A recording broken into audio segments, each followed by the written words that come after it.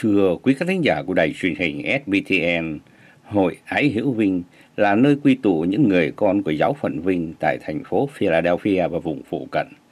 Hôm nay, vào lúc 2 giờ 30 chiều ngày 13 tháng 8 năm 2017, hội đã long trọng tổ chức mừng lễ bổn mạng Đức Mẹ Hồn xác lên trời tại đền Thánh John Merman, thành phố Philadelphia. Sau đó là buổi gặp gỡ, hàn huyên, trao đổi, tâm sự về những ưu tư cho thân phận của đồng bào Vinh đang sống tại quê nhà.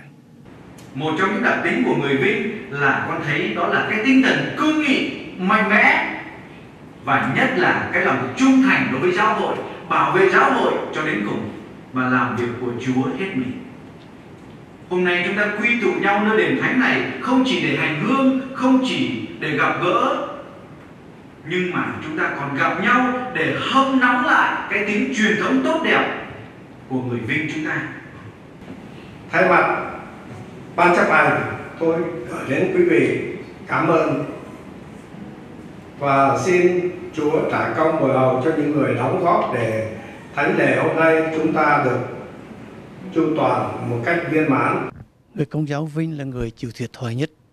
Từ trước tới nay, cái thảm họa Formosa nó ở ngay tại Vinh, tức là Hà Tĩnh cũng trong địa phận Vinh.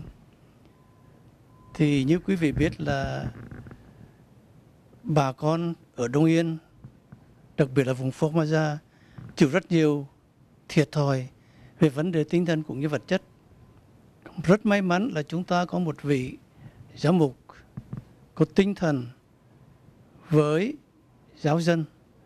Ngài đã bôn ba khắp nơi để lo cho giáo dân có phương tiện sinh sống, nhưng đồng thời cũng là để giúp cho dân vùng đó có cơ hội để thoát khỏi thảm họa Formosa hoặc là làm bớt nhẹ phần nào cái đau khổ của Formosa gây nên.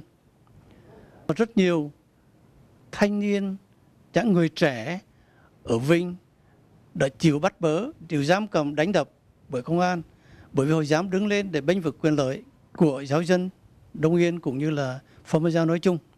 Tôi hy vọng rằng trong tương lai sẽ có những phần tử trẻ đứng lên để cùng với những cái người đang tranh đấu bây giờ tiếp tay để làm thế nào Formosa rút khỏi Việt Nam. Đặc biệt hơn nữa, chúng ta là những người ở hải ngoại, nhưng chúng ta có thể yểm trợ, đặc biệt là vấn đề kinh tế, vấn đề tiền bạc cho những nhà tranh đấu cũng như những người đau khổ hiện tại ở vùng Formosa. Nguyễn Đình Toản, tường trình từ Philadelphia.